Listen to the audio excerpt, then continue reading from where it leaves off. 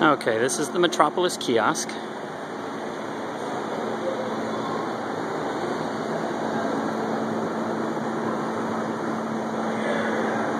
So what you're looking at here, let's see, we'll start from the bottom. This is where the paper comes out. This is our eight and a half inch wide uh, printer slot.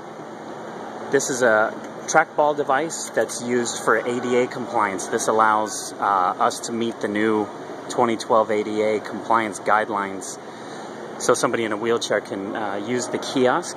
We have the Topaz signature pad here on the shelf.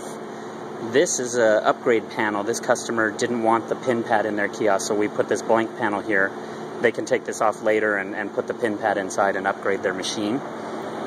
19 inch touchscreen monitor, card swipe, credit card swipe. Uh, speakers, we've got dual amplified speaker system on the kiosk. I'll take you around the back side of the unit. Uh, we do have the option up here with this panel, uh, right here actually, where we can put Wi-Fi in the machine, so you have Wi-Fi option. This bubble shaped door here, uh, you open this up and that's where you change the paper. And then down below, this box down here, you open that up and that's where the PC is. Uh, power and network come out of the back of the unit there. We've got all the cooling louvers, the cooling fan, and that's about it for the kiosk. As you can see, detail, it's really well built. It's a good quality machine. We sell thousands of these a year. We hope you like it. Thank you.